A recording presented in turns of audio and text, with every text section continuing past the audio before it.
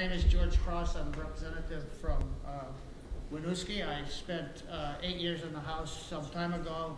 I then left. I'm back. Uh, uh, took a six-year uh, sabbatical from that.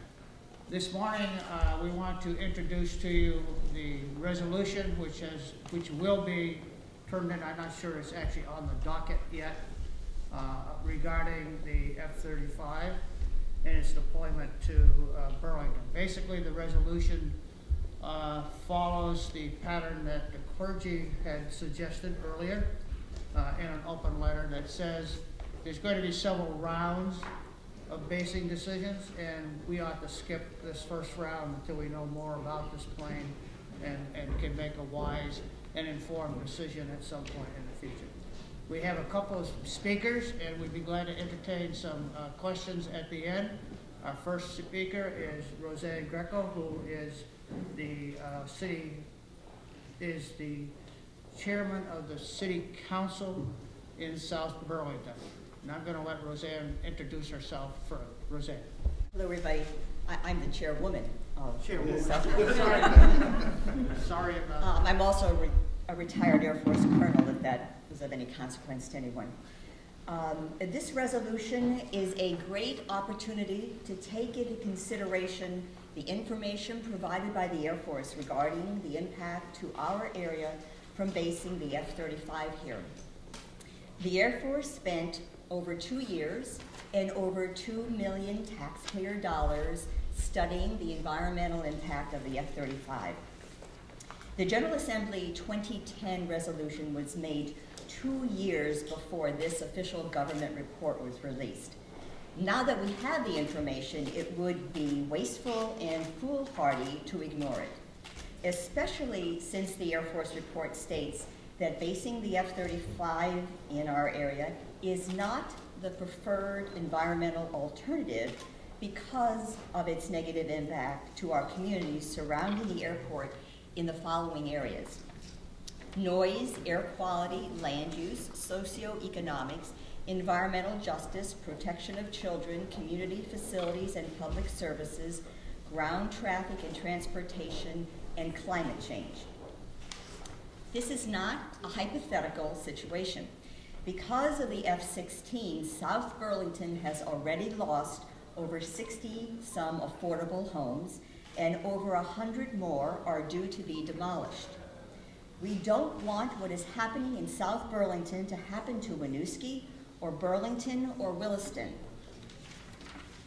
If the F-35 is based in Burlington, 2,635 acres and over 9,000 people and over 4,000 households will fall within the noise area that the federal government classifies as unsuitable for residential use. By the way, this noise level is over double the noise level that the Environmental Protection Agency says is required to protect public health and welfare. Under the current F-16s, 189 homes in South Burlington fall within the noise area. Under the proposed F-35s, over 4,000 homes in South Burlington, Winooski, Burlington, and Williston will fall within the noise area. Of all the other bases being considered for the F-35, only our community will suffer such terrible consequences. We ask you to examine the information in front of you and to support this resolution to protect our neighborhoods and the people you represent. Thank you. Yeah, I'm John Reuwer. I've been practicing medicine, emergency medicine, primary care for 33 years now, treating lots of disease and learning what it takes to prevent disease. The F-35 is bad for our health. After its hearings and study last fall, the Burlington Board of Health had this to say. The Board of Health has concluded that noise has been associated with hearing loss, stress, sleep disturbance, heart attacks, high blood pressure, stroke, and delayed reading and comprehension. The Board of Health has concluded that aircraft engines produce numerous toxic combustion byproducts. And the Board of Health has concluded that every aircraft carries a risk of crashing and that there is an unknown safety rating on the F-35. We also know that the Environmental Protection Agency and the Federal Aviation Administration believes there's enough scientific evidence to say that the noise that the F-35 will produce over a very large area is incompatible with residential living. The city of Burlington believed this enough to spend 39 million taxpayer dollars to purchase homes exposed to the much smaller noise area of the F-16. This plane is bad for our health, period. I have found no debate on this. What needs to be quantified better is how bad. The purpose of this resolution is to give us time to determine how bad. I've heard it said repeatedly that the F-35 is no noisier than the F-4 Phantoms when they were here 40 years ago. Clearly, people were not dying in droves then. It was okay then, it must be okay now, right? Wrong. No one was looking at health effects back then. We do know that in the last 40 years, deaths from heart attacks, attacks have dropped dramatically. And that most of that is due to things like decreased smoking and health behaviors and better medical intervention. But much of the improvement is still unaccounted for. We are still looking for the explanation of why people have heart attacks when they don't have diabetes, high cholesterol, smoke, or have high uh, blood pressure. The one thing that researching this issue has taught me as a doctor is that noise levels are very likely to be one of those risk factors we're looking for. So my question today to the legislature of Vermont is do we want to take the state back to a less healthy time? Allowing this plane to come here would be like telling people to go back to smoking and eating pork rinds. Whatever you can say about the benefits of the F-35, you cannot, from a medical viewpoint, say it is good for our health or the health of our children. And even if you believe that this plane somehow contributes to our political safety or to our economy, the precautionary principle of avoiding potential harm to the public health until the risk benefit is shown more clearly requires that we not accept the risk of this aircraft in this first round of basing. Vermonters have a right to enough information to know just how bad likely harm is to befall them in order to make the decision about whether they want to accept that risk. And this resolution will serve that purpose. Thank you. I was a member of the House when the House resolution was presented in 2010, uh, and I made it clear uh, during my campaign, one of the uh, questions asked in the Burlington Free Press that we had to talk about was the F-35, and I made my position clear that I was one of the five people that voted against that resolution in 2010. Uh, and I guess I could just say that given the election, apparently that wasn't uh, a problem for that many people. Um, whether that was a deciding factor for folks, I don't know one way or the other. But sometimes politicians are a little bit afraid to take controversial positions on issues and um, for fear of electoral retribution. And that didn't seem to be uh, a major problem. Um, you know, I, I, worked in the Intervale for many, many years uh, and certainly know the impact of having to basically be silenced when the planes are taking off and landing. Uh, and for folks that live in that area, um, it's an even greater impact than for me that went in and out of it uh, for my work. Uh, and it was really that direct experience of the current noise, much less the idea that it would be twice as loud at times that uh, brought me to my conclusion. So uh, happy to introduce a similar resolution in the Senate uh, and um, support the work of George and all the community members that are here today. Similar resolution, similar bill as well, or just the resolution? I haven't seen the bill, so um, for now I'm, I'm working on what I've seen and what I know. My suspicion is that the resolution, uh, when it is introduced on the floor, will get sent to the uh, Committee on uh, General Housing and Military Affairs. Uh, The initial indication from that committee is it's not a bill, it's not a resolution that they have a particular interest in. However, that could change. Everything in the legislature is fluid. What happens today is not necessarily what happens tomorrow.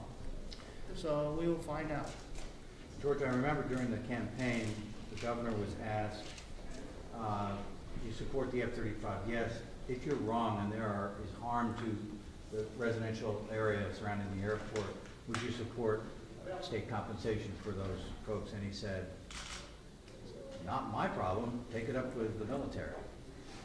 Uh, I realize that. I realize that the governor is, is, is has a lot of talent in the area of avoiding questions and pushing them in a, in a different direction. So we'll just have to wait to see what happens. Someone else just asked me to address the safety impacts. We don't talk very much about that. But the F-35, as you know, uh, is very, very um, over, over its budget, almost 100% over budget, and years behind schedule. So the Air Force is, has decided that they're going to deploy it before it's fully tested. That is a very controversial issue. And normally, when we um, first deploy new aircraft in the Air Force, I can speak to the Air Force having been one, is that we usually do it in remote areas because new aircraft crash more when they are new. And um, statistically, they crash on takeoff and landing. This is the first time the Air Force has decided to deploy a new aircraft in a populated area, the most densely populated area in Vermont. So now you're going to put a brand new aircraft that is being deployed before it's fully tested, carrying 18,000 pounds of fuel in the most densely populated area of Vermont, where over 4,000 homes are located in that crash zone area. I think that's a huge impact. That is a huge risk that we are taking. There are going to be 30 some uh, other looks at basing. Seven or eight of them are going to be looking specifically at air guard bases in the future. This is not Burlington's only opportunity to get the F 35. It's not if it doesn't come here now, it will never come here again, just the opposite. This is the, they're going to buy thousands of F 35s. There are two bases they're looking at for them right now one from a guard, one from the active duty. They're only going to put 18 or 24 at each of those bases. What are they going to do with the rest of the thousands they've got laying around?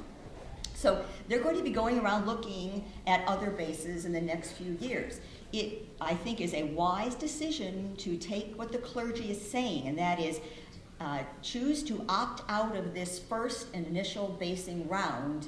It will give the plane some maturity, if nothing else, so that it goes someplace else and be test flown in another area. And we are the only area that has been looked at that, is a, that has a grave impact to its population. The other bases under consideration actually had a, a, fewer people, if any, that were affected by it. So I see that from a safety perspective as a wise decision to take, you know, drop out of it now and take our chances. If we were the number one base this time, most likely we would be the top of the list next time. Again, we're not asking that it never come to Burlington. We're asking that we delay the decision at this point in time until there's more information available so that a wise decision can be made at the proper time.